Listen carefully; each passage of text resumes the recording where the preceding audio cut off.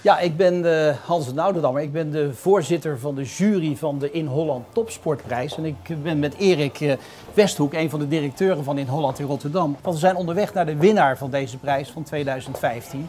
En uh, ja, we zijn natuurlijk heel erg benieuwd wie dat zal zijn. Oh, is goed uit? Ja. Ja. ja, ja, natuurlijk. Geen gaten in mijn sokken, Chris. Nou, dat hopen we dan maar. Ja.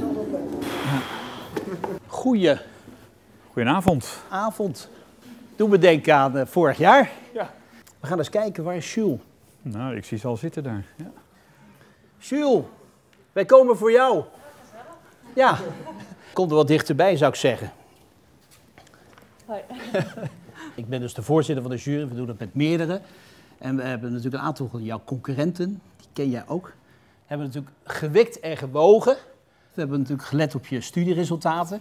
Of die parallel liepen met je sportieve carrière. Want het is wel belangrijk hè, dat een school daar uh, rekening mee houdt. Maar dat je ook voortgang maakt in je studie. Nou, Jules, van harte gefeliciteerd, nogmaals. En ik mag je namens het college van bestuur van Hogeschool in Holland deze prachtige cheque overhandigen.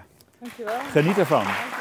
En uh, nou, je vindt er vast wel een mooie bestemming uh, voor, denk ik. Alsjeblieft. Dankjewel. Nou, verrassend. Ja, ik vind het super gaaf dat ik hem heb gewonnen natuurlijk.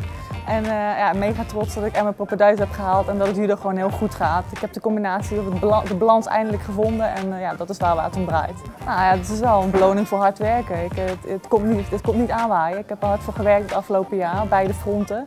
En dat het ook allebei uitbetaald, ja, dat is, ja, dat is super mooi. Ja. toevallig is gisteren mijn wasmachine kapot gegaan, dus het is wel een mooi, hè, een mooi begin om, om daar alvast in te investeren. Ja.